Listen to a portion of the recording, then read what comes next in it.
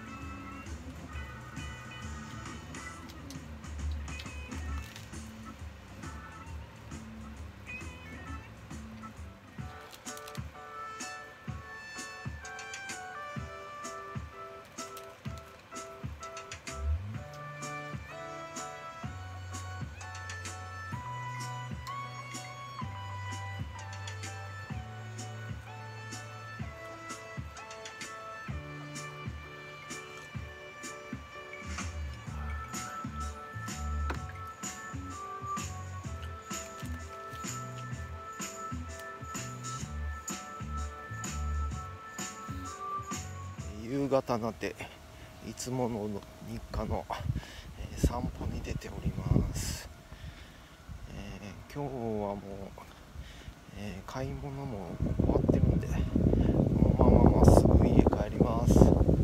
今日の晩ご飯はカレーです。えっ、とサバ缶を使ったカレー作ります。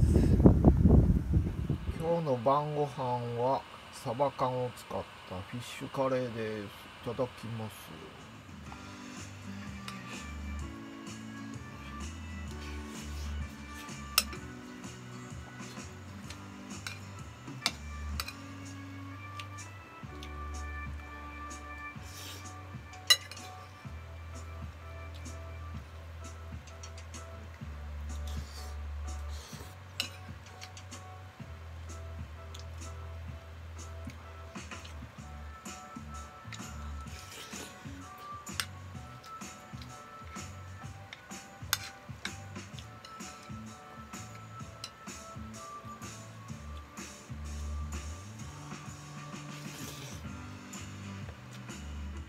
今日17日の支出は、えーコンビニで400円ほど使ってますけどこれ PayPay のチャージ部から払ってるので今日の支出には入れません、え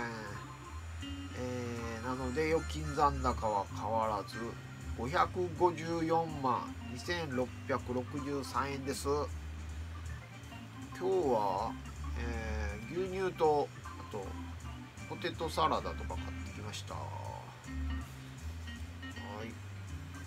カレー作ったんで今日。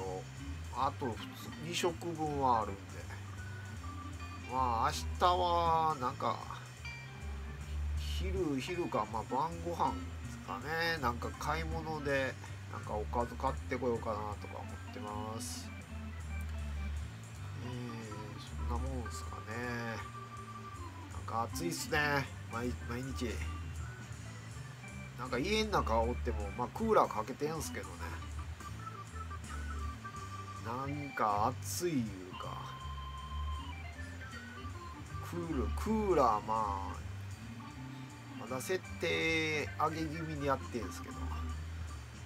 まあもうちょっと下げようかなみたいな感じですから。何の話天気の話しかないなの。はいそれでは動画ご視聴いただきありがとうございます。ピロヤンでした。ではまた明日。